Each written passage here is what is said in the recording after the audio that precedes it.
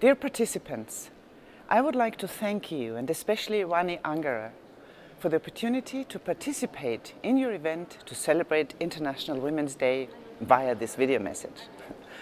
My name is Ulrike Lunacek. I'm a Green member of this European Parliament from Austria and I'm also Vice President of the European Parliament.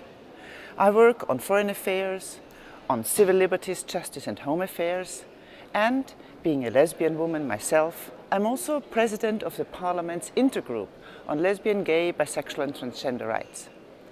Let me tell you that I myself have a very long history of activism against violence against women and for women's rights, both in civil society and in the Austrian, as well as now in the European Parliament.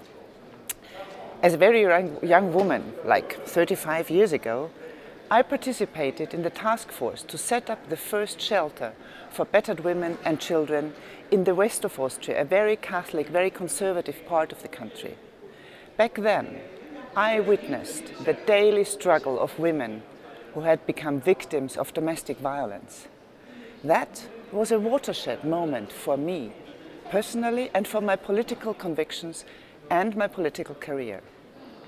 And what I learned then made me participate in the 1 billion rising movement against violence against women, which we celebrated with a dance here in this part of the European Parliament two years ago with many of you and other women worldwide.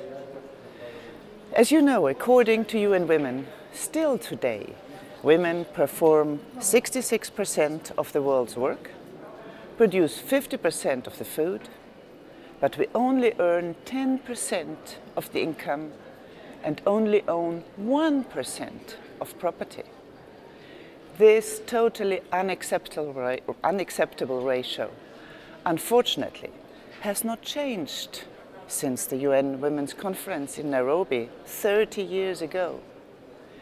It is about human dignity when I say that we all, we women, deserve the same opportunities as men have in the fields of education, of employment, of career options, of political participation, of access to health services, as well as to be economically independent and to live a life without fear and violence.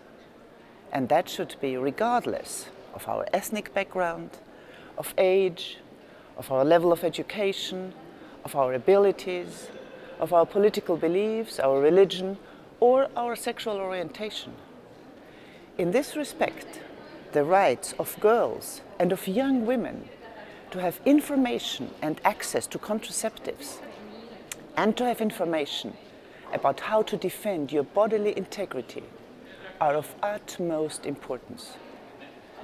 And you know, at an international level, affecting women differently and often more cruelly than men, we're seeing an increase in armed conflict and terrorist activities in many parts of the world. This European Parliament has been very outspoken against violence against women in wars, in military conflicts, and especially against rape as a weapon in war and armed conflict. And in 2014, just a couple of months ago, we have awarded the Sakharov European Human Rights Award to Dr. Denis Mukwege, a Congolese doctor who has become a leader in also convincing men that war, rape, rape in general, and violence against women in general are something men also need to join the fight against in their own homes, in the public, and of course in military conflict. Dear participants of the Women of the World Talk and Act, Make It Happen conference in Nairobi. As a feminist, women's rights have been a personal commitment for me throughout my life. You know, as many of you, I'm sick and tired of seeing women being discriminated, objectified, and pushed to the margins of society. We need to break this. We need to break the glass ceilings that still prevent women from being empowered leaders in politics, in business, and at all other levels of society.